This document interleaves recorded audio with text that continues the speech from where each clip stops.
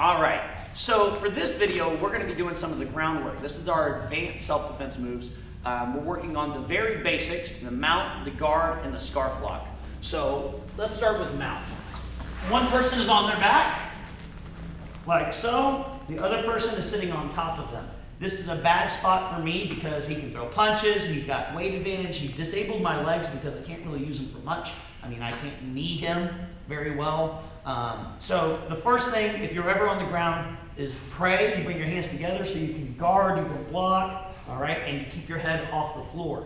Now, to actually do the self-defense move, what I'm going to do is I'm going to bump and turn him into a table. All right, so now he's got several points of contact. I'm going to bring my hands from inside to outside, and I'm going to trap his wrist.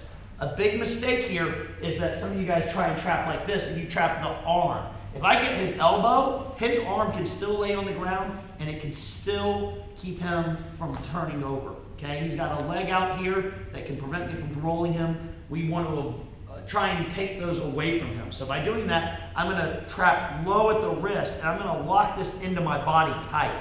Then I'm going to bring my foot around, and I'm going to try and trap that ankle.